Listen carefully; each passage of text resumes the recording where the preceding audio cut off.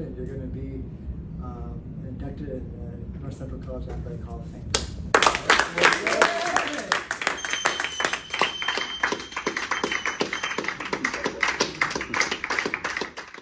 Photographer Steve Woltmann has documented many of the most significant events in the history of athletics at North Central College.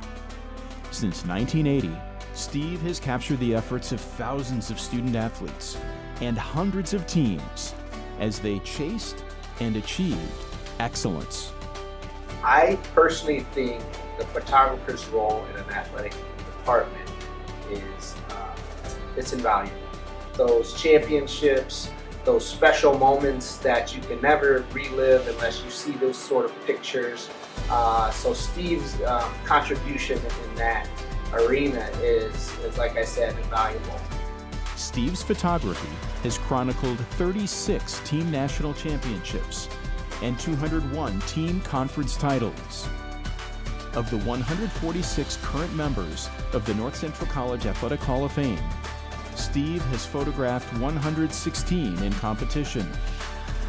Steve gained unique perspective, covering the Cardinals as an on campus resident in the 1990s.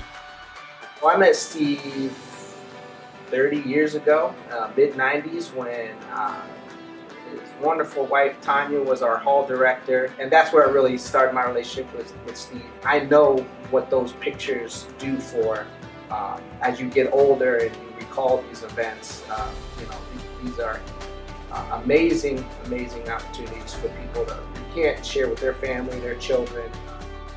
Despite an amazing photographic portfolio, that now spans many sports at the college and professional levels. Steve still considers North Central to be his home base, and generations of student athletes consider him family. Seeing the joy on his face, the emotion when he was presented with this opportunity to be in the Hall of Fame speaks to what it is.